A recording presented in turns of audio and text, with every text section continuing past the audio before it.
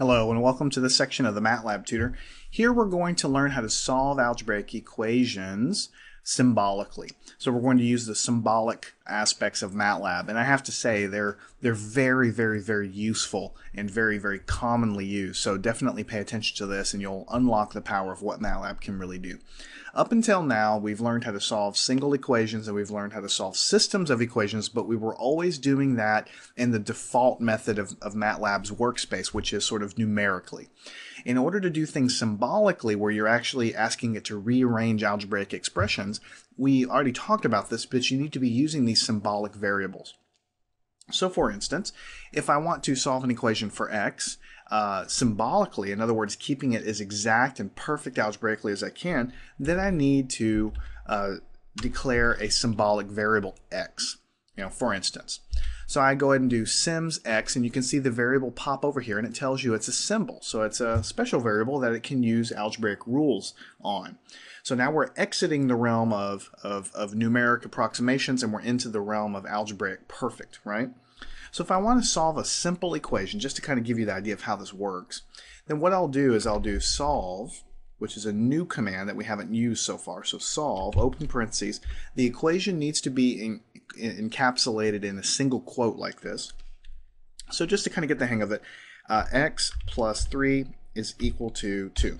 Something that everyone can do in their head. So x plus 3 is equal to 2. And now you have to tell MATLAB what variable do I want to solve for. So you put comma x.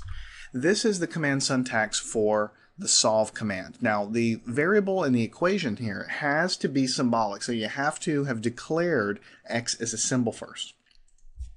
So we go ahead and do that. MATLAB uh, is not numerically approximating it. It is actually using the rules of algebra to take the 3, subtract it from both sides, and you get negative 1 for the answer. So it's isolating the variable x. That is why we're typing in the full equation in terms of x and not just giving it a matrix of coefficients like we were doing before. Because before we were doing sort of uh, approximations and you were getting decimal answers all the time. Here we're getting algebraic perfection. And let me just show you real quick what happens. Let me pull the last command back up. Let me change this to y and we're going to solve for y. Notice I have not declared y as any kind of symbol. I'm just going to say I forget it, forget to do that. If I type that in, MATLAB's going to say we have an undefined variable or function y. It just doesn't work if you unless you defined it uh, as a symbol. So now that it's a symbol and you can see it in the symbol workspace over here, I'll pull up that same exact guy and you can see that y is equal to negative 1 because it's solving for y. All right, so you can have quite complicated uh, uh, equations, and MATLAB will really do its best to keep everything perfectly exact, uh, as exact as it can. So for instance, if you have x squared uh, plus 2x minus 3 is equal to 12, this is the type of problem we were doing in the last section, uh, or in the last couple of sections where we were solving it with the roots command, but here we're typing the full equation in, including uh, the x's and everything else. So x squared plus 2x minus 3 is equal to 12. And, and we're solving this equation for x. We have to tell it that. And MATLAB will go and calculate that and it will give us exact answers. Notice there's no decimals here. There's no approximation. It's trying to keep everything perfectly exact uh, here. So it's moving the 12 over. It's able to factor it perfectly and so on. And if you change one of these guys to something that's a little harder, then MATLAB, in this case, you can see we just changed it to something that wasn't easily factorable.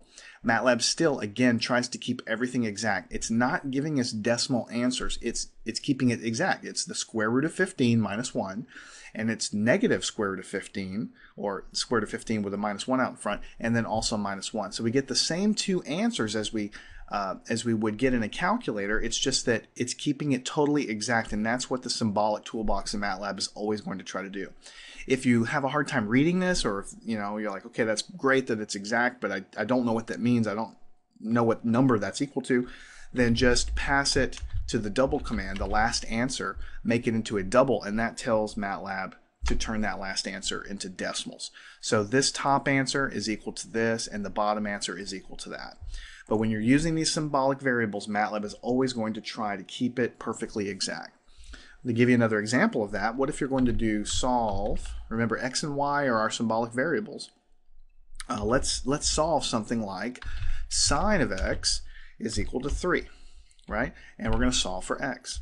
So what we're really asking MATLAB to do is we have this equation. Sine of x is equal to 3.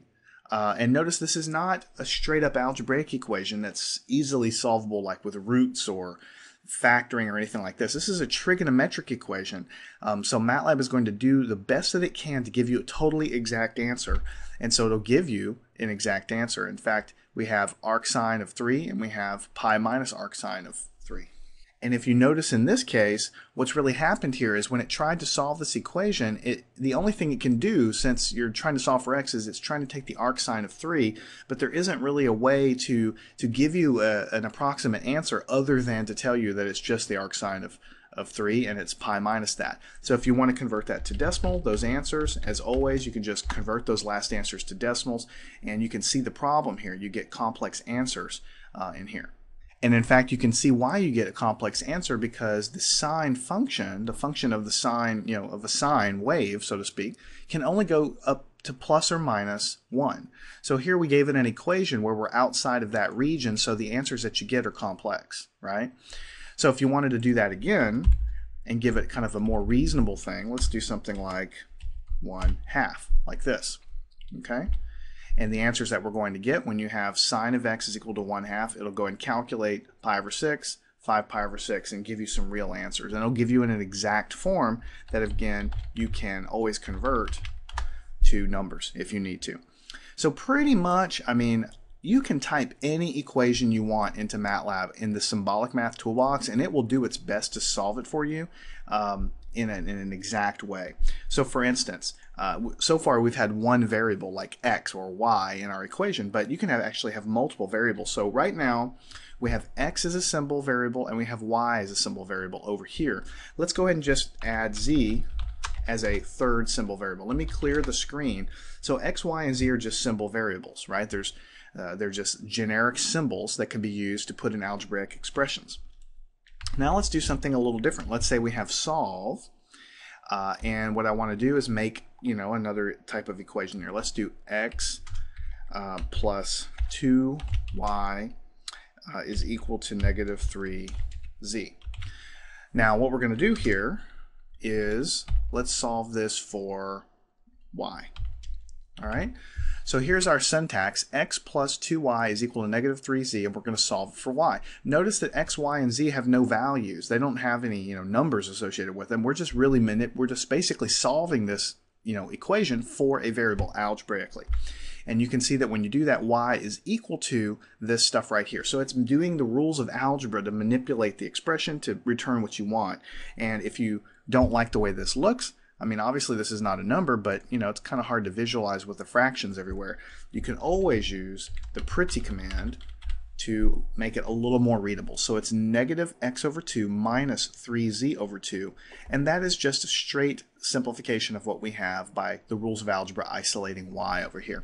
And we can do the exact same guy uh, isolating for x, take the exact same equation, isolate for x, and we'll get this. And of course, we can take the exact same equation and isolate for z and get the same thing. So you you don't always have to use the solve command, I guess is what I'm trying to say. You don't always have to use it to, to solve for equations to get numerical answers. You can use the solve function in the symbolic math toolbox simply to manipulate expressions algebraically. You may have a very large expression to solve for x, and, and you might need to algebraically move things to the left and the right hand side. MATLAB can do all that stuff in the symbolic math toolbox. So as one final uh, example, let's say we're going to have solve of sine of x uh, plus e to the power of z. That's what that is. Uh, and let's do, you know, plus uh, 3 times y. Let's, let's make it equal 3 times y. So this is an equation.